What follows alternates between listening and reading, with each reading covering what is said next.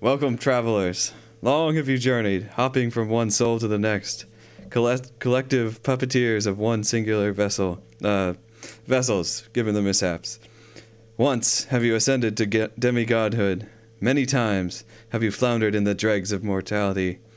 Me, myself, I've been on my own quest, straining against the stresses of humanhood. And yet your journey has given me hope. It's given me. What, I- what I'm saying is, it's uh, been a stressful few months. I've been dealing with a lot of anxiety, and this uh, this event has gotten me back into streaming. Uh, kind of forced me to. So, hey.